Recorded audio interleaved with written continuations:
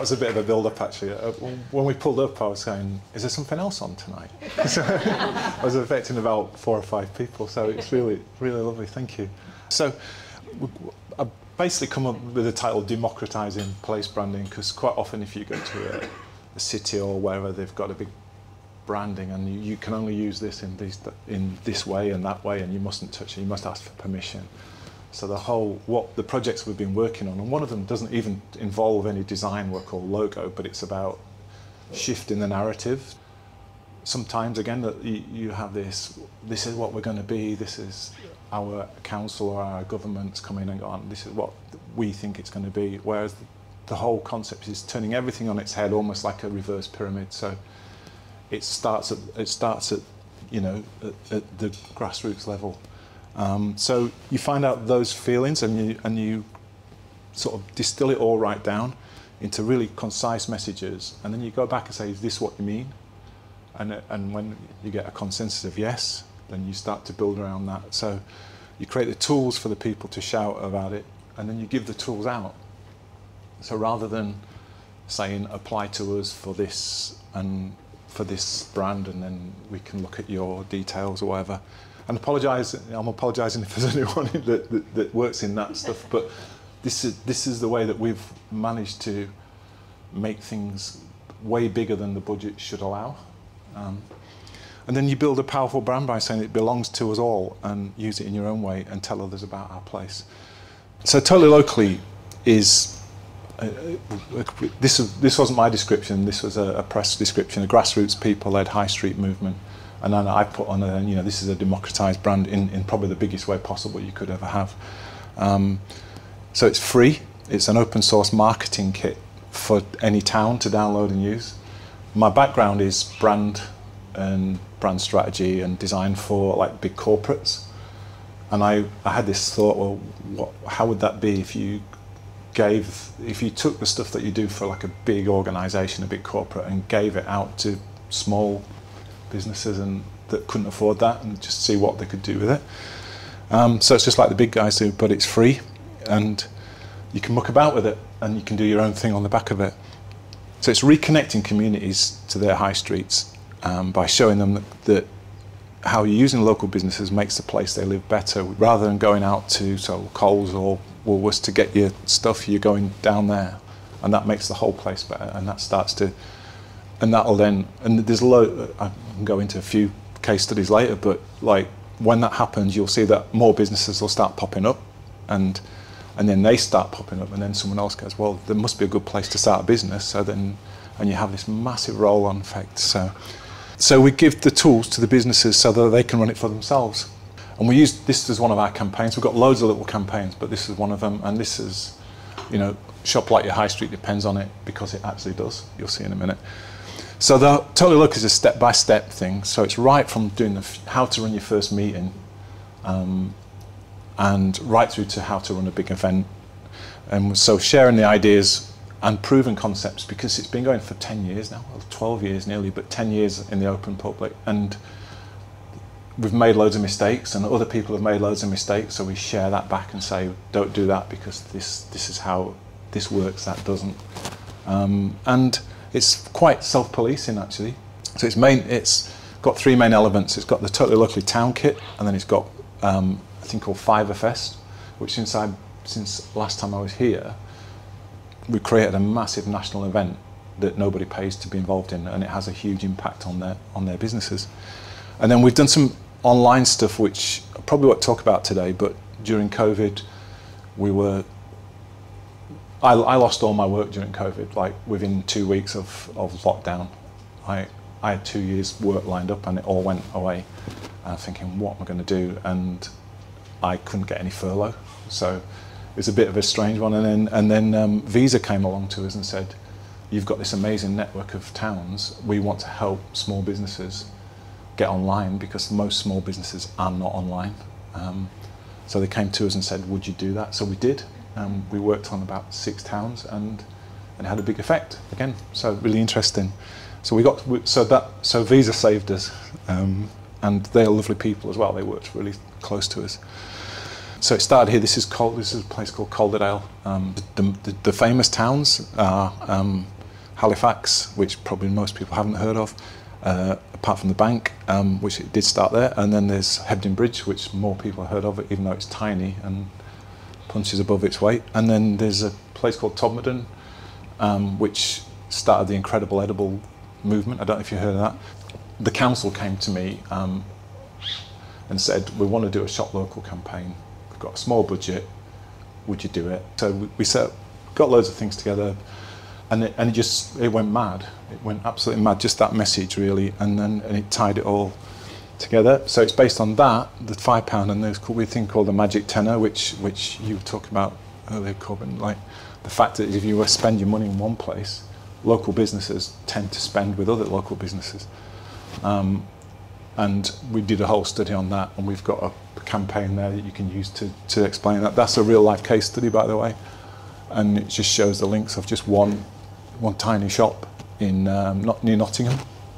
That local supply chain is the whole idea that it grows and grows and grows very quickly. So the exponential growth. So the fact that it started, you know, um, this is Andrea who has a farm shop near where I live, um, and I just got chatting to her one day, and she said, "I said, how many local businesses do you work with?" And she said, "Well," and so we sat down and worked it all out. She had 33, and then we went to two of those and asked them, and they had 20.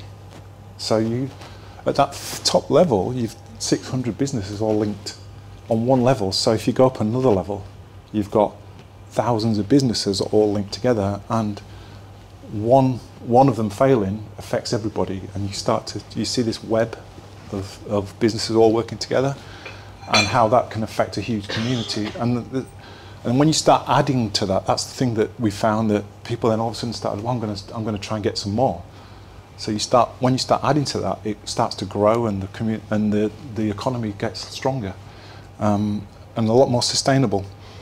So really quick, but it had a huge impact in Calderdale, and it actually people did change their habits, um, and they were going in saying, "I've come to spend my five pounds," and then it led to a rediscovery of of the high street and the fact that actually just because I, rather than just running into a supermarket, I'm going here, I'm getting a conversation, I'm getting something different, and it's not actually sometimes it's not even, it's actually cheaper sometimes, um, which we've found on a few things, and then so yeah, it really did work, and it started to grow quickly. And then we got loads of press interest, and um, and loads of then I got loads of people saying, "Can can we come and do it in our town?" And I just was like, the ingredients needed for this is just a collaborative bunch of people who love their town and want to share it with others, which is where we come into the whole place brand and things. And we always say there's no rules apart from one, and we and we say that.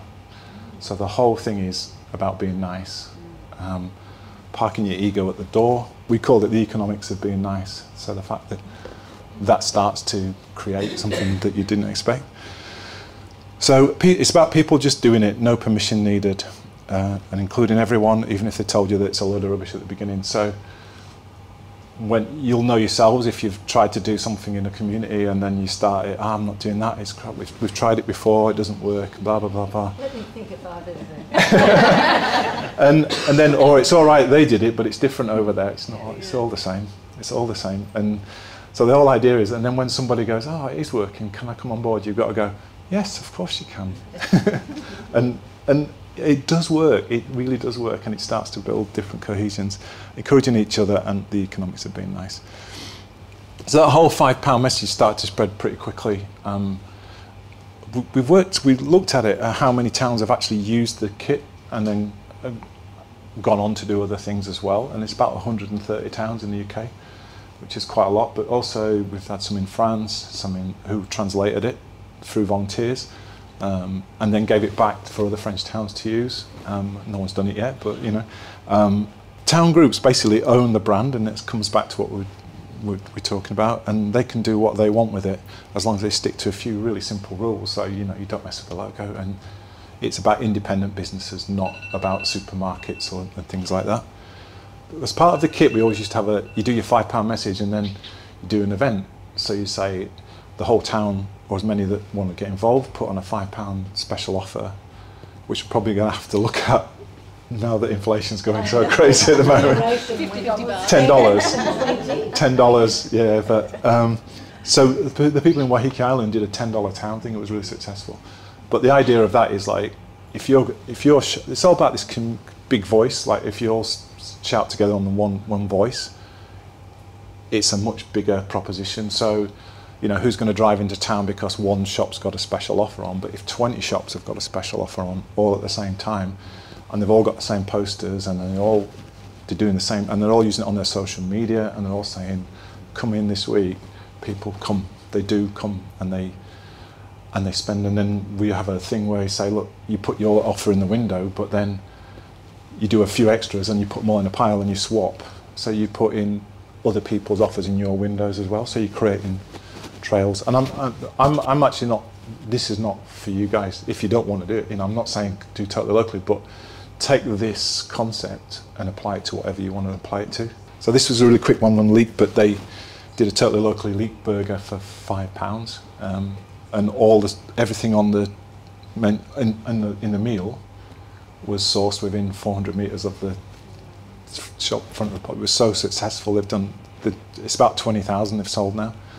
The, there's a whole thing about you do one product. And quite often people go in and not have no intention of buying that product anyway, but they know that if they're going in, there's a psychological thing of, you know, and, and that might be 10 quid next year, you know, I don't know, but it, it gives you, knowing that you've got 50 pounds in your pocket, I'm going to spend 50 pound today, I can buy five, ten things or whatever. It, it's a psychological thing. And, and again, it's like you say, and you following a trail and you're making a day of it. So, but the beautiful thing about this is that, again, the BBC heard about it and BBC Breakfast came out and did a, a feature on the whole thing and, and how, you know, some of the suppliers there, so the baker there, he started on this illegal market that became, when the council saw that it was good, they gave them a license and now it's an 80 strong, um, ev- every fourth Sunday. It's an 80 strong market, and everyone's within a 30 mile radius. You've got to make your own things. You can't buy things in. And um, and um, Matt, the baker there, he started on the market and he was successful. And now he's got a huge bakery and he supplies all the all the shops and stuff. And there's a, quite a few of those as well. I stole that one from Amazon. You know, if you obviously none of us shop on Amazon, but um, and and there's like you know if you buy something that says oh if you like that we think you like this so we got the shops that say if you like our shop we think you'll like this one and Oh, and, and Yeah, yeah. that really successful and and then going back to that suppliers how many suppliers you got there's a poster to say when you eat and drink with us or when you shop with us you shop with another 55 I think the most we've found is 103 suppliers someone's had. People love seeing collaboration and that's and people don't expect shops to recommend other shops. And so the whole thing on this is like they are not they're, they're not your competition they're your allies you know? So there's even a, there's even um there's even a, a newspaper template you can download. There is a load of articles already in there. And then this is declaration of independence which I was quite proud of that title. And that was that was done collaborative with with the group. So it came from um, a little bookshop that had put a sign up saying the taxes I paid, the taxes we paid last year paid for six months training for a, a student nurse. Amazon's paid for none, and and it was like whoa, and and that was a big, that was a big moment, and uh, so we had a big discussion online with everything, and we came up with this. This is like we pay fair taxes. There's there's actually a dollar one as well. Spending ten pounds with us means up to fifty pounds going back into the local economy, which is the multiplier effect. So there's loads of stuff. Yeah, that's just some of the few things, and you'll see the did you know there and what's made locally, and and it's all to download. And then we just say do use the kit, talk to others, do something new, share experiences. And I, we have a thing like say, look, it doesn't matter if you use it for six months and then go on to something else, or use it for two years or five years or whatever. It doesn't matter because as long as you've started a spark, you know, and even if like no, you don't use any of it, if it starts to spark and, and you start doing things on your own and without waiting for someone else to do it, job done really. Because because like I say, we don't get anything out of it other than I get a few trips now and then, you know. it's just a seed to get people thinking differently, and and once people get confident, they start to do it. And this was um, a lady called Leslie who runs a little florist in a little um, very very unglamorous town called Brighouse. I'm going to do a market in Brighouse. No one's ever and down the main. I want to do it down the main street. And everyone's like, what? Nobody wants to go there. And they said, I want to call it a totally locally market. And I went, yeah, fine. And we helped her and we worked it on it. And and everyone was going, no one's going to go. And um, three and a half thousand people turned up. And and then this woman came up to me and going, and we, we were stood there going, this is brilliant. And then this woman came to me, you're a disgrace. I said, what do you mean? She said, I've come here, there's nothing here. And I said, of course there is. And I looked, and then everyone's packing it, and we've sold out. So, and, and then Leslie, I mean, so, I mean, he was Leslie, and, and, you know, it wasn't us, but she, she got to use the brand, which what we're talking about here is, again, it's she got to use a brand that people understood that if they turned up there, they're gonna, this is what they're going to get. Um, and then from that point, the council then turned around and said, too many people came, so you can't do another one. Um, because it blocked people were parking in the Tesco car park at the bottom and then walking across and uh, and credit to her and then um, and then the MPs waded in said yes they are and um, so they got another one and now they do it every four months uh, four, uh, sorry four times a year um, average eight and a half thousand people now um, but what it did do it started to give Brighouse a reputation so this is this one lady Leslie and she just says, I'm just really gobby, and that's what she says. And, and this one lady, um, it had a really high shop vacancy rate. You can't get a shop in Brighouse now. So this was no council funding. The council worked really closely with us on giving us the stalls, um, and they were really good with that, and they still are. But it was Leslie and a couple of mates that have taken a town that where nobody wanted to go to a place where people look at and go, how did they do that? branding for place, if you're just going to change, do start doing a place branding just because you fancy it, it's a bit of a vanity project really. So you need to know is you know there's got to be a reason why you want to do it. So we always say what's the challenge first, and that can be we need more tourists, or we don't need more tourists, but we need people that live here to connect better, or we need just a sense of who we are before we go for something else. Um, so that bringing it all together. So what do people say about the place? What makes your place distinct? what do you want to achieve? And I always put reality versus what the goal is. So, you know, we're going to be this, we are this, well, you're not, but you might want to be in five years' time. So you create what are you now, what would you like to be, and then I always say five years because I think after five years you need to look at it again because things change in five years. Um, and then distill it right down to really simple stuff and then democratize it. So the bit I love, the, the last bit is the one I love the most. So th this is one an example of doing the whole bottom-up thing without changing a, a, logo or a brand or everything. So this is a place called the Piece Hall in Halifax. I'm from Halifax, my family are from there, and in the middle of it was this building that was underused, run down. It had some shops around the edges, and so it was originally um, 17th century cloth hall and it's the last remaining one in Europe. And it's pretty spectacular. And but it was very unloved, and it was the room. The, the sort of myth is, and I think it's true, that it was in one. It was one vote away from being knocked down to, to build a shopping centre. Um, and now, again, if you see the Gentleman Jack next series that's coming out, it, it's featured in there. Um, uh, and it, it was where basically a lot of the wealthy um, cloth owners, uh, uh, mill owners, sorry, got together and said, let's, let's do a vanity project to show how good we are. And we built this beautiful thing. And it was, it's huge, and it was only open for two hours every week where you could sell your cloth. So people came from miles over the hills, sold the cloth, and then the walls are because the cloth was so valuable uh, in those times. Um, so you couldn't get in, and they rang a bell, and then when the bell rang, you couldn't sell anything from there. So it's really interesting history, but it was really underused. I mean, that's the, that's the market there, and that's about as busy as it got, and it just became really tired. And if you were a shop owner, like in the winter, they would be wearing balaclavas and gloves to keep warm, and and then it closed. So if they got some funding to redo it, um, then the, the whole strategy was like, we're going to attract the tourists, get all the tourists in on the first day. That's the thing. Um, but in the background, it'd been closed for three years. They said it was going to be between six months and a year. Um, it was way over budget, um, and there's loads of rumours. And, and if you know the people where from the area, as I said, they're hard. They're really, really hard. Um, and it's like the they're, they're scamming us, they're taking all our council tax money, they're, blah.